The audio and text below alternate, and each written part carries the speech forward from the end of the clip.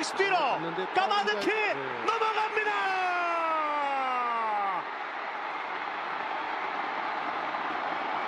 요나단 페라자 동점을 쏘아 올립니다. 체인지업이나 이런 게 스트라이크로 많이 들어왔었거든요. 페라자 오른쪽 깊숙합니다. 담장 넘어갑니다. 요나단 페라자 연타석. 아까하고는 전혀 다른 이 페라자 선수의 어, 페라자 선수가 지금 예, 타석의 위치도 상당히 좀 앞쪽으로 좀가 있는 상태.